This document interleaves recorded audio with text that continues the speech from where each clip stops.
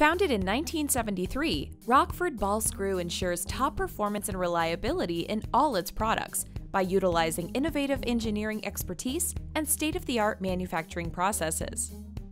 Our team of experienced engineers creates unique custom solutions by designing concepts, making prototypes, and performing trial runs for your specific application. As part of our comprehensive service capabilities, we provide repair services for both metric and imperial assemblies for virtually all brands and sizes, with the fastest turnaround time.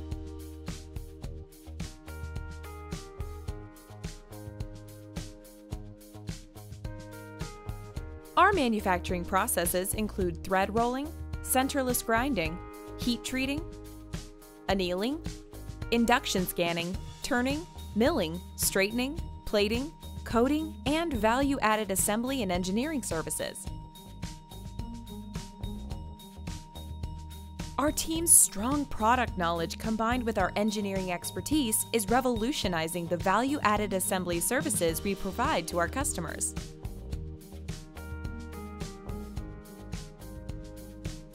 Our profile linear guide rails and linear bearing blocks are available in multiple sizes and lengths to suit your application requirements.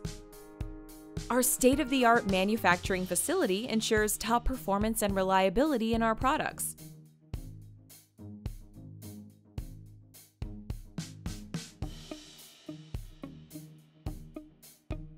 We also offer reverse engineering services for the refurbishment or replacement of existing linear motion systems with more modern and reliable technology.